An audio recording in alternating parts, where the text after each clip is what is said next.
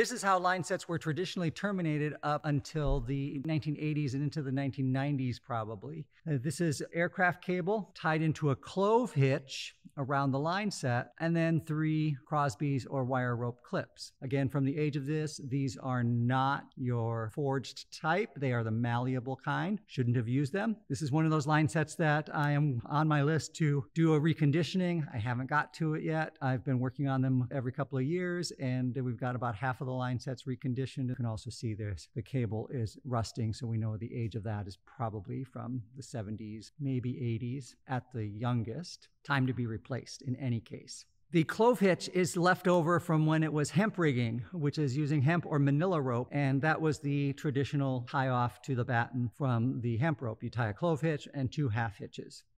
This is another method of attachment for connecting your cable to your batten using a batten clamp. That's pretty common. We use batten clamps for a lot of other purposes, connecting battens to track and other materials. So this is perfectly valid. We have a shackle. The shackle is moused. The bolts are grade 5 hardware. They've been marked with some red marking material to identify if any of the bolts have slipped out of position from the last time they were rigged. There is a turnbuckle I'm not real fond of this method. This is shortening my top height by the length of this turnbuckle. And you can see that up at the top, the turnbuckle is terminated to a cable with a swage. The swage has the tail, and the tail has been protected with clear heat shrink. That's so you don't poke yourself on that. But now I've got all of this distance preventing my line set from flying out all the way to the grid and that could potentially impede your full length of travel. The turnbuckle is moused on both ends, so it can't move. If I needed to adjust the turnbuckle to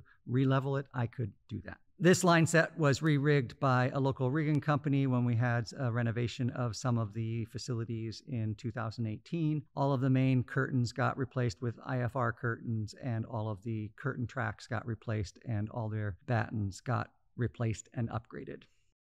This is a sample line set that I've done the full rigging maintenance on. I've replaced all the cables. We've replaced the turnbuckles at the arbor and just gone directly to the arbor with a Nycopress swaged cable and a shackle to the arbor. And then at this end, we put the Nycopress swage on with the quarter inch thimble and we feed the chain into the thimble before we swage it. And that has this loose end of chain do two full wraps and then come back up here and connect via a shackle. This shackle, you can't see it, but it is moused, but only with a zip tie. In terms of doing any long-term mousing, I would never use zip ties because they get brittle and fall out. So if you are doing a long-term installation like this, which is almost of all of your line set rigging, you want to mouse it with some mousing wire. If you're doing a two-week show or a several-week show run and you want to mouse your shackles with zip ties where they're not going to degrade over a couple of weeks, then go for it. It's faster, it's easier, it's quicker. You can just cut it and snip it and go when you strike the stuff. But for anything that's permanent installation like this, that's going to be there for several years or longer, you need to use the wire mousing.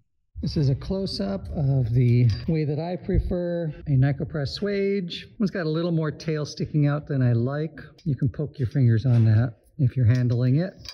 One end of the chain is locked into the thimble, does two wraps around the pipe, comes back up, and then the shackle is adjustable to level the batten. And again, just remember to not lock this and these extra links uh, in between the shackle and the piece of chain. It has to be loose and free flowing. It can't be pinched. You can either do the shackle pin up or pin down, whichever works best with your shackle. I think these shackles, this size doesn't fit well through the quarter inch chain long-term installation and we don't want to use a zip tie as mousing because the zip ties can deteriorate over time with heat and become brittle and break whereas a wire mousing does not. The disadvantage of the chain wrap is that if you are near the end of the pipe, you risk the danger of the chain wrap walking. The advantage of the chain wrap is that I can quickly adjust it left or right a little bit to get my vertical cable drop 100% perpendicular with that loft block up there. Because the last thing I want it to do is to have it becoming at an angle. And then as it reaches the grid, it has to shift or it turns into an extreme angle the closer it gets to the grid. The chain wrap makes for an easy adjustment left and right to be able to get that angle correct. But if you get yourself towards the end, you want to put in a keeper bolt like this that pinches the chains together so that it has no chance of slipping and sliding off the end of the pipe. Even this distance, it seems a bit extreme, like it could intentionally walk off that way. Because I'm under a foot from the end of that pipe, I want to put that extra bolt in there to be extra, extra safe. And you can see here we have a nicely wired mousing of my shackle. This is another method to attach your cable to a batten clamp, in this case a raceway clamp, which then attaches below the raceway to the batten. You can use this piece of chain instead of a turnbuckle to level your batten. The disadvantage here is that I have a single piece of chain that's carrying the entire weight. And as long as my chain has the same load rating as my quarter inch aircraft cable, that's fine. But what I get with the additional wrap is I get that wrapped around the batten twice. And now I've got two pieces of chain going to my single pick point and that spreads the load between the two chain drops and gives me a little bit of extra safety factor in the connection. You can't really do that if you're connecting from a Nycopress and thimble point to a shackle or batten clamp or both, but you can with a single chain. And again, always make sure any loose bit of chain link doesn't get pinched between your shackle or on, a, on another connective point.